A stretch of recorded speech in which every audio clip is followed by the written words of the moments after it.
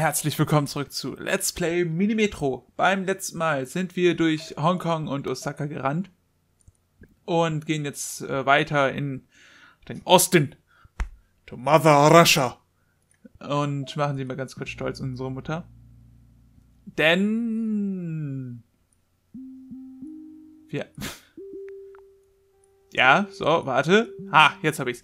Denn Mother Russia möchte auch eine äh, Straßenbahn. Was eine Straße? Ich weiß es nicht. M möchte auch Züge haben. Ja, äh, Mütterchen mag Züge. Warum wissen wir noch nicht. Ähm, und es, es fängt halt wieder. Es ist immer so angenehm. Ich, ich mag das Spiel halt wirklich gerne, weil man sich einfach ein bisschen zurücklehnen kann. Man kann äh, auf die 3 drücken, alles schnell haben und währenddessen ganz ruhig äh, die Zeit vergehen lassen, sich an alte Tage zurückerinnern. Denn früher, früher war vieles anders. Auch hier haben wir natürlich wieder äh, Brücken, weil, beziehungsweise Tunnel, äh, weil Wasser. Ja, wir mögen es nass. Und was brauchen wir? Wir brauchen 500, um ins nächste Gebiet kommen zu können. Ähm, ich weiß natürlich nicht, inwieweit das hier ein Problem sein wird. Ich habe nämlich komplett vergessen, wie äh, Russland drauf war. Ich glaube, Russland hatte viel mit, ähm, wir bekommen eine Lok und äh, ich hätte gern noch einen Waggon. Ich glaube, dass Russland viel mit diesen Sonderdingern zu tun hat. Ich bin mir aber selber nicht mehr sicher. Ich hätte mir den Text durchlesen sollen. Ähm, man hat ja immer so eine kleine Information zum jeweiligen Gebiet, in dem man gerade sich äh, aufhalten möchte. Und ich glaube, hätte ich den mir durchgelesen, äh, dann wüsste ich, worauf ich mich eingelassen habe. Ähm, hier habe ich mich schon mal darauf eingelassen, dass äh, ewig viel hängen bleibt an der einen Station. Jetzt nicht mehr. Gut, wir, wir, sind schon bei 60. Wir, wir haben schon fast geschafft. Wir haben schon äh, mehr als ein Zehntel von dem, was wir brauchen. Die setzen wir da drüber, haben äh, gleich gar keine äh, Tunnel mehr. Und ich glaube, ich brauche noch einen zu. Ich, hm. Gut. Äh, nehmen wir dafür einfach mal eine neue Bahn. Wir haben keine Bahn mehr. Das ist natürlich sehr gut. Äh, kann ich dich so setzen? Ja.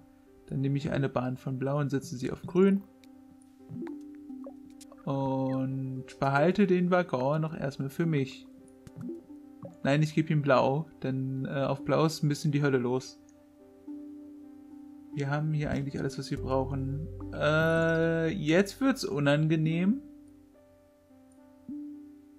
Warte, das kriegen wir hin. Damit sind wir ein Tunnel los. Ähm... Es hat funktioniert auf jeden Fall und mich juckt's gerade am Fuß. Da bekommen wir eine neue Lok und ich hätte gern noch einen Waggon. Moment, momentan schaut es noch friedlich und ruhig aus. Ich äh, habe aber so ein bisschen Angst, Russland, ne? In Mother Russia train rights you.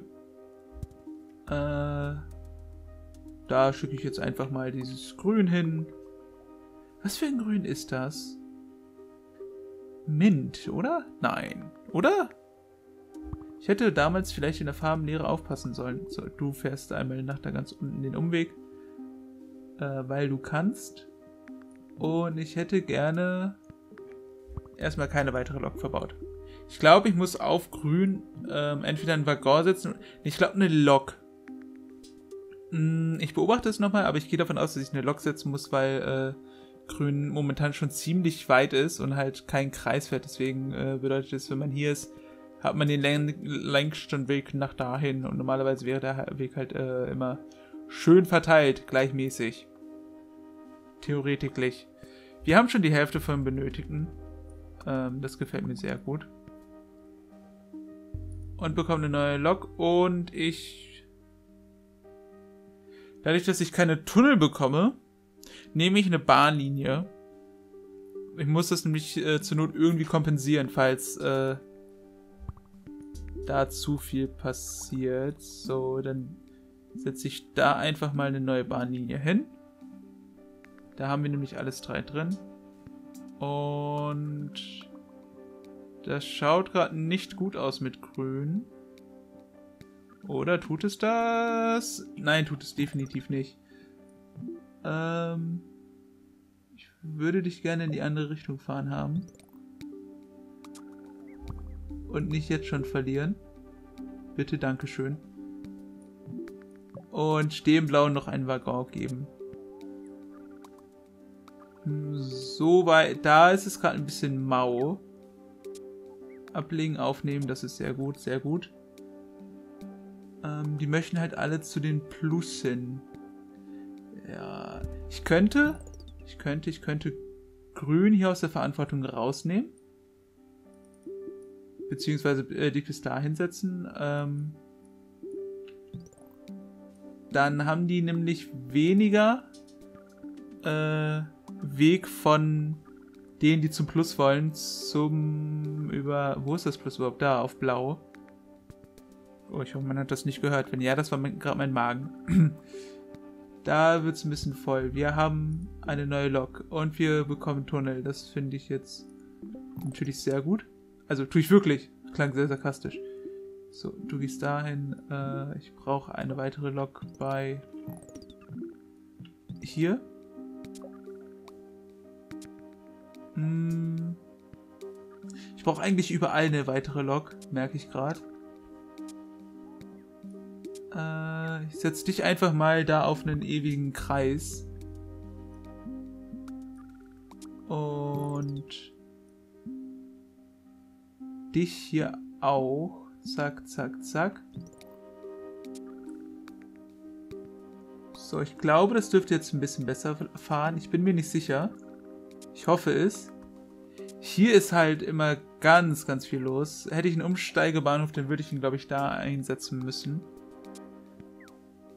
Momentan läuft es aber noch gut. Wir, wir, sind schon bei den über 500. Das ist auf jeden Fall sehr gut. Das heißt, ich muss äh, diesen Part hier nicht abbrechen und neu machen. Oder sonst was. Äh, du, dahin. Ja, das ist schon ziemlich also Blau regelt das noch. Ähm, bin ich auch sehr froh darüber, dass Blau momentan die einzigen sind, die äh, wirklich mit Sonderklamotten zu kämpfen haben. Auf ihrer Strecke. Aber ich müsste vielleicht einen Waggon auf Orange legen.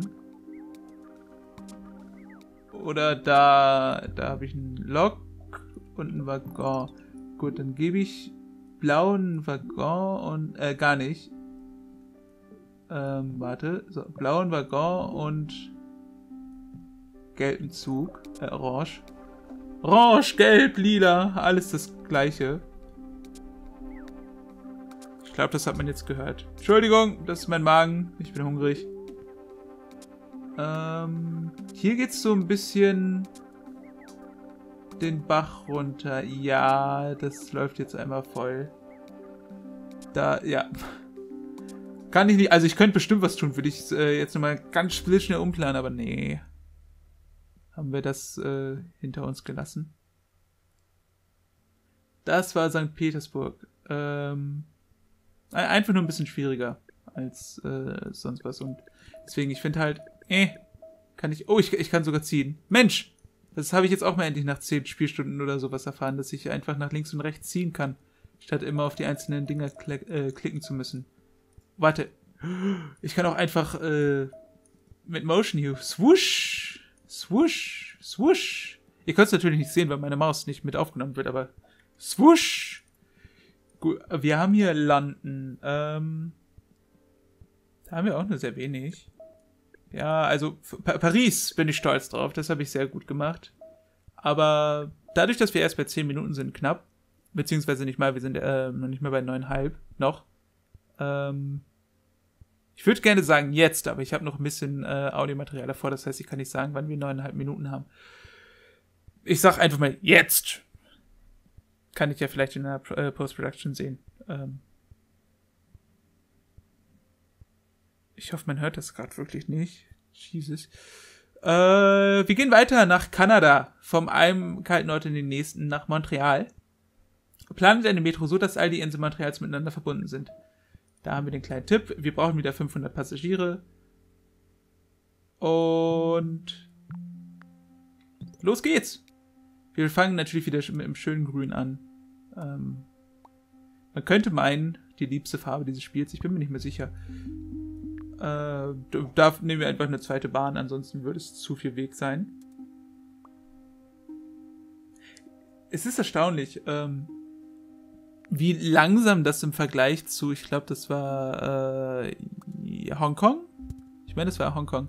Wie langsam das im Vergleich zu Hongkong hier erst äh, rausfadet, sodass man das eigentlich kaum mitbekommt. Zumindest äh, am Anfang, dass das hier ein bisschen äh, alles enger wird. Muss ich auch sagen, habe ich äh, mich beim ersten Spiel wirklich gefragt, sag mal, wird das gerade kleiner oder nicht? Hm, hm, hm. Bis ich dann merkte, oh ja, es wird natürlich kleiner, ich Idiot. Warum auch nicht? Die ganzen kleinen Inseln. Hat Kanada so viele Inseln? Weiß ich nicht mal. Ich sollte mir vielleicht mal äh, Atlanten suchen und dann einfach mal äh, eine Karte von Kanada aufschlagen. Oder Google fragen. Google ist ja, äh, ich weiß nicht, ob ihr von, äh, davon gehört habt, das ist äh, ziemlich revolutionär, das Teil. Ähm, das ist so, so, so, da richtig viel, ne? Da kann man nach allem suchen auf dieser Welt. Und es, es steht nahezu alles unter Google. Müsst ihr mir ausprobieren. Ich äh, glaube, ich packe mal den Link für Google in die äh, Infobox. Ne? Draufklicken, nachschauen, für euch selber entdecken. Äh, ich kann gar nicht äh, behaupten, wie sehr ähm, es einem hilft, besonders wenn man lernt. Ne? Ja, für die, die noch in der Schule sind, Google. Da, ihr, ihr findet zu, zu jedem Thema, über das man ein Referat halten müsste, alles. Puh, mind blown. So, währenddessen, äh, Kanada ist ein bisschen langsamer als äh, St. Petersburg, beziehungsweise Montreal ist äh, ein bisschen langsamer als St. Petersburg, habe ich das Gefühl. Es stört mich erstmal nicht, ähm, einfach aus dem Grund heraus, ich mag es nicht hektisch. Äh, ich habe da noch kein Viereck drin. Da habe ich einen Krankenwagen gehört. Ich könnte das jetzt natürlich zum Kreis verbinden. Ähm, bei Grün, ich glaube, ich werde, sobald ich hier irgendwie ein Viereck habe für grün, werde ich da rausgehen. Nehme ich noch einen, ich nehme noch einen Waggon mit. Hm. Ich glaube, eine Bahnlinie wäre besser, wenn wir mit mehreren, ja. Verdammt. Also, ich habe die Karte von Kanada nicht mehr im Kopf, die für, äh, von dem Spiel verwendet wird, wie die Karten aufgebaut sind. Äh, aber ich glaube, dass einzelne Bahnlinien besser sind, wenn schon mit äh, von Inseln geredet wird. Dass man quasi, ähm, zum Beispiel, man sieht ja jetzt hier, ach, Ihr seht meine Maus nicht. Ähm, da, da, wo das äh, Orangen ist, dass man da quasi eine komplette Bahnlinie macht und das dann halt nur rudimentär verbindet über ein, zwei Stationen, indem man auf andere äh, Dings übergeht. Dass ich quasi jetzt alles äh, auf der Insel, wo Orange ist, äh, nur Orange mache und dann halt Gelb, sagen wir, mit dem Kreis verbinde und äh, vielleicht noch ähm, dem Kreis, ich muss das jetzt mal so machen, dem Kreis verbindet. So, da haben wir jetzt äh, unser erstes Special. Scheint so, als würde Orange langsam ein bisschen Platzprobleme bekommen. Äh, deswegen setze ich da einen zweiten drauf. Ja, das zieht gerade ein bisschen an. So, eine Lok und eine Bahnlinie nehme ich schon mal. Ähm, Gelb kann bitte da lang. So. Und dann auch Kreise fahren jetzt. Damit hat Gelb nämlich wieder ein Quadrat drin und ich muss Orange nicht zu, äh, so richtig eindellen. Da habe ich noch mein gelbes äh, Kreiserschle. Wir haben noch zwei Tunnel. Ich benutze mal einen schon mal vorsorglich. Nein! Äh, Fehler. Einen vorsorglich, um das zu machen. Dann nehme ich dich aus der äh, gelben Verantwortung raus und setze dich dahin. Dafür packe ich dich in die orangene Verantwortung mit rein. Und ich glaube, ich packe auch einen zweiten Zug auf gelb schon mal. Hm, da haben wir jetzt ein Viereck. Ja, das... Hm, eigentlich könnte ich das jetzt aus gelb rausnehmen, äh, aber ich hätte gern mindestens einen Bahnhof, wo sich alle meine drei Linien überkreuzen. Äh, ja, das passt so.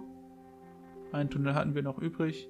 Grün ist natürlich sehr gechillt momentan. Ähm, dadurch, dass es äh, zum Großteil von Orange abgedeckt wird. Äh, eine neue Lok und ähm, wie mache ich das jetzt? Nehme ich den Waggon oder noch eine Bahnlinie? Ich glaube, ich nehme den Waggon. Weil ich muss ja immer eine Lok in der Hinterhand halten für äh, äh, etwaige Fälle. Falls ich die neue Bahnlinie legen muss, dafür halt. Ich könnte auch... Das ist jetzt gerade ein bisschen suboptimal. Ich habe nämlich keine Tunnel mehr. Dann mache ich das jetzt mit Gelb anders. So, Gelb ist mit auf dieser Insel. Und dich lasse ich nach, von da nach da nach da nach da. Dann habe ich da jetzt eine Linie erstmal. Ähm, es wäre natürlich klüger, das mache ich jetzt auch mal. Das mache ich jetzt auch mal, weil das klüger wäre. Äh, dich zu einem Quadrat zu schicken, damit ich äh, mindestens die drei Grund, äh, Grundgeometrieformen abgearbeitet habe.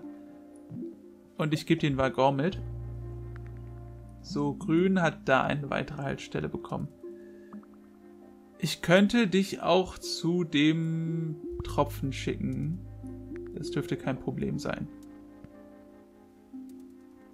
Mir gefällt natürlich nicht, dass das äh, Dreieck so aufgebaut ist, also dass es hier steht. Äh, ich glaube, ich glaube, der Waggon.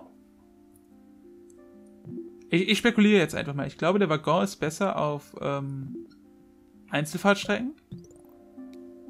Ne? Ähm, äh, ich, ich meine auf Kreisstrecken, auf, auf Ringbahn quasi, als äh, auf solchen ähm, Dead-End-Strecken ich glaube, man braucht. Oder er ist nicht unbedingt besser. Sagen wir so, aber man äh, kompensiert halt nicht so sehr den Verkehr. So, ich nehme äh, dich und den Tunnel. Damit kann ich nämlich jetzt dich da rausnehmen. So und damit nach da oben kommen. Oh, guck mal, das wird zu einem langen Tunnel. Das ist sehr gut. Äh. Falls man versteht, versteht, was ich überhaupt damit meinen wollte. Ähm, um das nochmal versuchen, äh, um das nochmal ein bisschen klarer zu strukturieren.